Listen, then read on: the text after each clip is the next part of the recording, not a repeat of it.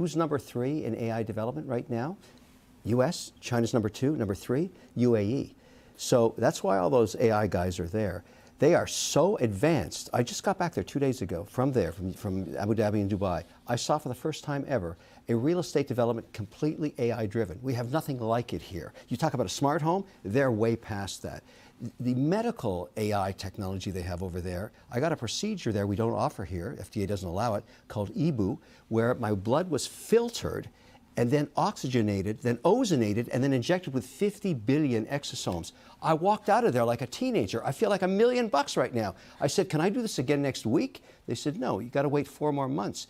They are so advanced. By getting this whole thing worked out with these countries, we need to align with them because they want to be in the circle of friendship on all of these metrics, whether it's going to be AI, whether it's going to be real estate, whether it's going to be development. And we don't want China doing that. We want the U.S forming that relationship. It's a consequential Saudi visit, is it not? Uh, but it's not just Saudi, UAE, and uh, Doha. They're all there. Yes. Okay.